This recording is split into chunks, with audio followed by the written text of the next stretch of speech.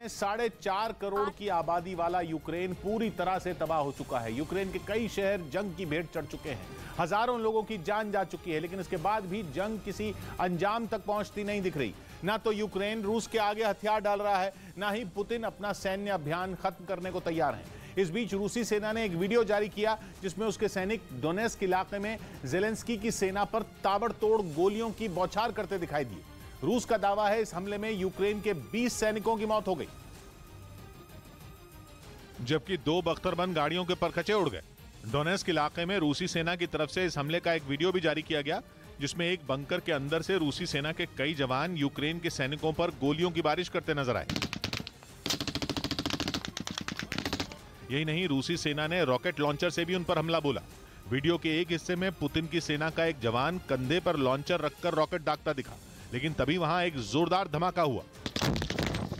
धमाके की वजह से वहाँ धूल का गुबार छा गया। बताया गया कि डोनेस के इस इलाके में दोनों देशों की सेनाओं के बीच कई घंटों तक भीषण लड़ाई चली। रूस का दावा है कि इस इलाके से उसकी सेना ने जेलेंस्की के सैनिकों को पीछे धकेल दिया। जेलेंस्की के 20 सैनिकों को भी रूस ने मार गिराने का दावा किया। तो वहीं यूक्रेन की तरफ़ से भी रूसी सेना को भारी नुकसान पहुँचाने का दावा किया गया। वहीं यूक्रेन ने रूस की सेना पर बेहद ही घातक थर्माइट रेन बम से हमले का आरोप लगाया।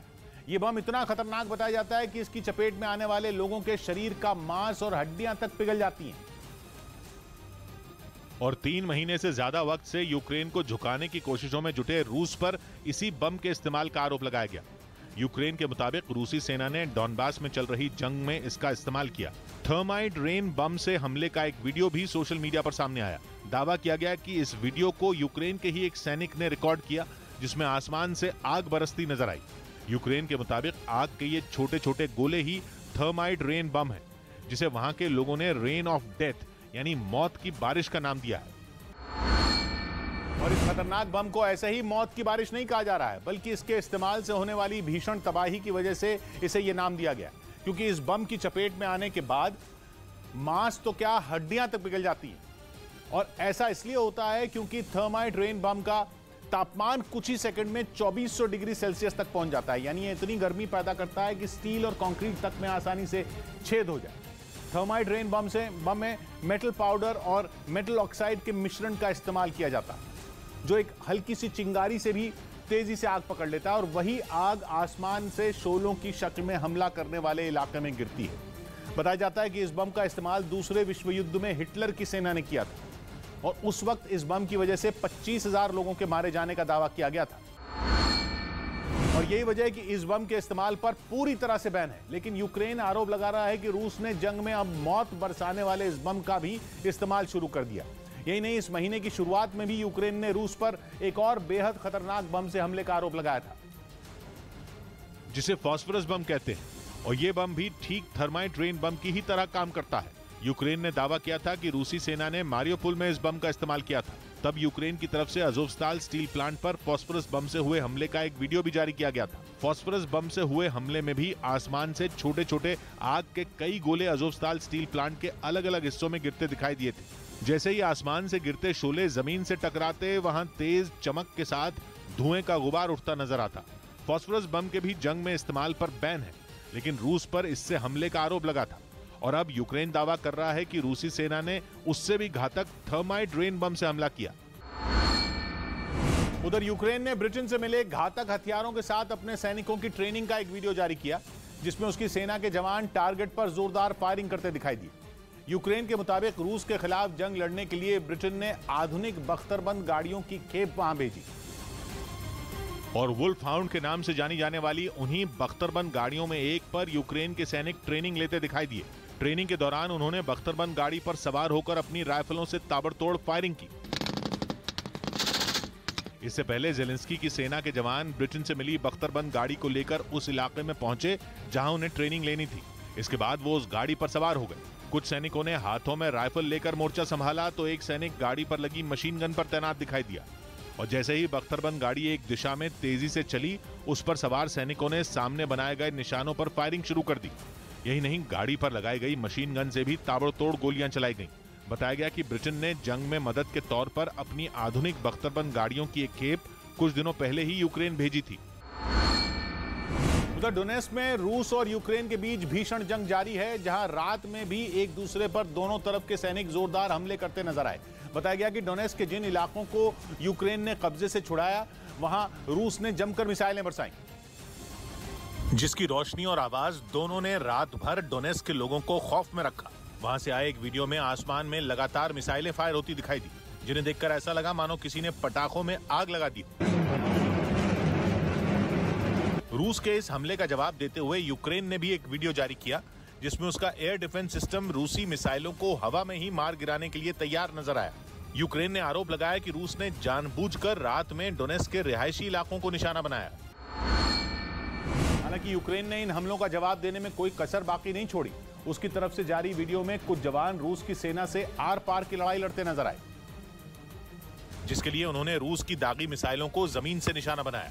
वहीं यूक्रेन के कई टैंक और बख्तरबंद गाड़ियां भी फौरन डोनेस के उन इलाकों में भेज दी गईं जहां रूस ने हमले किए 30 минут, як ми зайшли, почали по, по желізній дорогі довбати. रूस से टक्कर लेने के लिए यूक्रेन के सैनिक पूरी तरह मुस्तैद नजर आए रूसी फौज को डोनेस्क में घुसने से रोकने के लिए उनमें कुछ की तैनाती जंगलों में भी की गई इस बीच रूस ने एक वीडियो जारी किया जिसमें उसके लड़ाकू विमान सुखोई 25 यूक्रेन पर जोरदार हमले करते नजर आए इसके लिए उसने यूक्रेन में मौजूद अपनी सेना के एक बेस कैंप का इस्तेमाल किया। और वहाँ से जब उसके लड़ाकू विमानों ने उड़ान भरी तो सारा आसमान शोर से भर गया। एक कतार में उड़ते दोनों विमानों ने अपने टारगेट पर पहुँचते ही मिसाइलों की बारिश शुरू कर दी।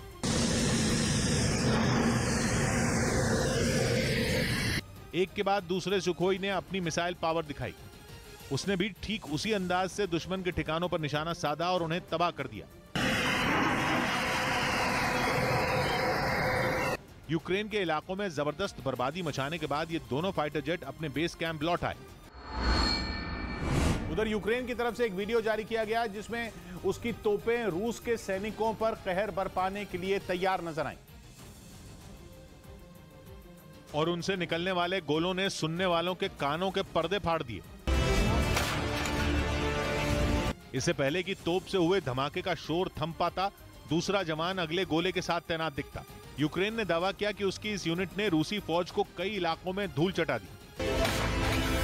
इस वीडियो के ज़रिए यूक्रेन ने अपने बहादुर सैनिकों की हिम्मत को सलाम किया। साथ ही यह भरोसा जताया कि उसके जवान रूस के इरादों को मिट्टी में मिलाने के लिए हर वक्त तैयार हैं।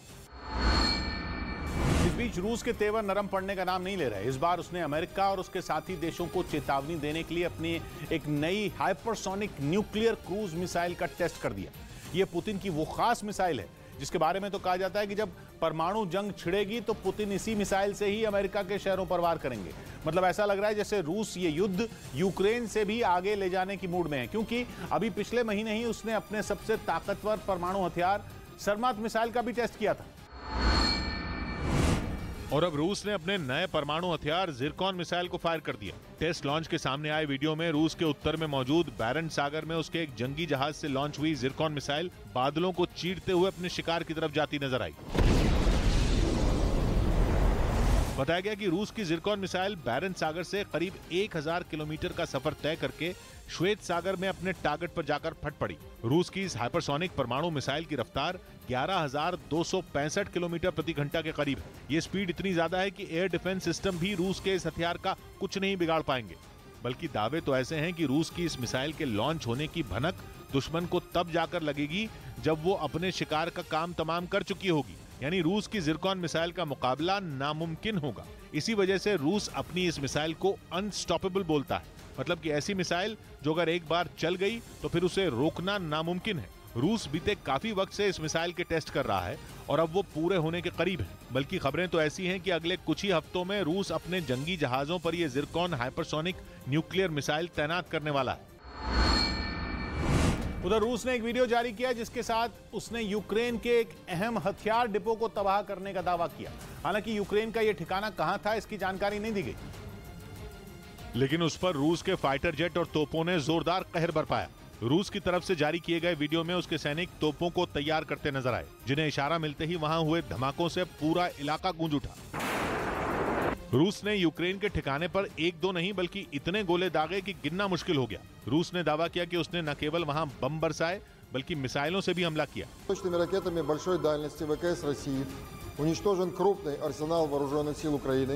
यूक्रेन की तरफ़ से ये जानकारी दी गई कि उसका एक हथियार डिपो तबाह हो गया। हालाँकि उसने रूसी हमले को नहीं बल्कि आग लगने को इसके लिए जिम्मेदार ठहराया। यूक्रेन ने एक वीडियो जारी किया जिसमें उसके एक सोलर प्लांट पर मिसाइल हमले का दावा किया गया। यूक्रेन ने आरोप लगाया कि रूस ने उसके इस प्लांट पर रात के वक्त हमला किया। जिसका एक सीसीटीवी वीडियो भी सामने आया। वीडियो में सोलर प्लांट पर एक मिसाइल गिरती दिखी, जिसके टारगेट को छूते ही वहाँ जोरदार धमाका हुआ। यूक्रेन ने इस हमले के अलग अलग एंगल से बनाए वीडियो जारी किए, जिसमें सोलर प्लांट पर धमाका होते ही ज़बरदस्त चिंगारी उठती दिखी। बताया गया कि इस हमले से प्लांट पूरी तरह ध्वस्त हो गया। रूस की मिसाइल इतनी ताकतवर थी कि जहाँ ये गिरी, वहाँ कई फीट गहरा गड्ढा हो गया। इसके अलावा वहाँ फायरिंग का दावा भी किया गया जिसकी गवाही सोलर पैनल पर उभरे गोलियों के निशानों ने दी।